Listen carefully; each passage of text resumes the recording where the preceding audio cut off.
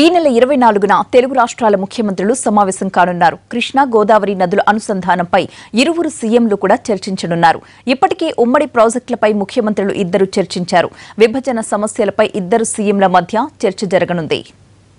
తెలుగు రాష్ట్రాల ముఖ్యమంత్రులు మరోసారి సమావేశమయ్యేందుకు సిద్ధమయ్యారు. ఈ నెల ఇరవై నాలుగున ఇద్దరు సీఎంలు వైఎస్ జగన్మోహన్ రెడ్డి కేసీఆర్లు హైదరాబాద్లో భేటీ కానున్నారు. ఇప్పటికే ఉమ్మడి రాష్ట్రాల ప్రాజెక్టులపై చర్చించిన ముఖ్యమంత్రులు తాజాగా నదుల అనుసంధానంపై చర్చించనున్నారు. సీఎంలతో పాటు పలువురు మంత్రులు అధికారులు ఈ భేటీకి హాజరు కానున్నారు.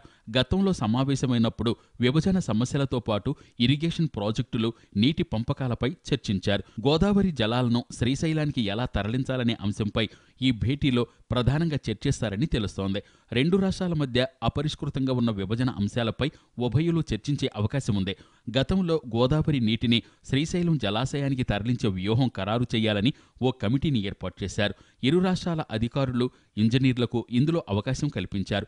ఎక్కడి నుంచి ఎలా నీరు తరలించాలన్న విషయంపై నివేదిక ఇవ్వాలని కమిటీని ఆదేశించారు. అయితే తెలంగాణ భూభాగం నుంచి గోదావరి నీటిని తరలించాలని ఏపీ ఇంజనీర్లు ఏపీలో మరో రిజర్వాయర్ నిర్మాణం చేస్తూ కాలువలను వెడల్పు చేయటం ద్వారా నీటిని నాగార్జున సాగర్ అక్కడి నుంచి శ్రీశైలం తరలించవచ్చని తెలంగాణ అధికారులు వేరువేరు ప్రతిపాదనలు రూపొందించారు. ఒకరి ప్రతిపాదనలు ఒకరికి నచ్చకపోవడంతో ఈ అంశం అప్పటికే ఆగిపోయింది. దీనిపై ఇప్పుడు కేసీఆర్ పట్టుబడుతున్నట్లు సమాచారం. ప్రాజెక్టు పూర్తి కాకుండానే కాళేశ్వరం ప్రాజెక్టును హడావుడిగా ప్రారంభించారని కాంగ్రెస్ నేతలు విమర్శిస్తుండటంతో గోదావరి జలాలను దిగువ రాష్ట్రంతో ఇబ్బంది లేకుండా తెలంగాణకు పూర్తిగా మళ్ళించే ఆలోచనతో కేసీఆర్ ఉన్నారని అంటున్నారు. ఏపీ భూభాగంలో పట్టిసీమ నిర్మాణానికే గతంలో అనవసరమని రాద్ధాంతం చేసిన వైసీపీ నేత వేరే రాష్ట్ర భూభాగం నుంచి రెండు నదుల అనుసంధానం చేయటానికి రెండు రాష్ట్రాల ఉమ్మడి ప్రాజెక్టుగా దీన్ని ఎలా చేపడతారని టీడీపీ నిలదీస్తోంది. మొత్తం మీద మరో వివాదానికి సంబంధించిన వ్యవహారంపై ఉభయ రాష్ట్రాల ముఖ్యమంత్రులు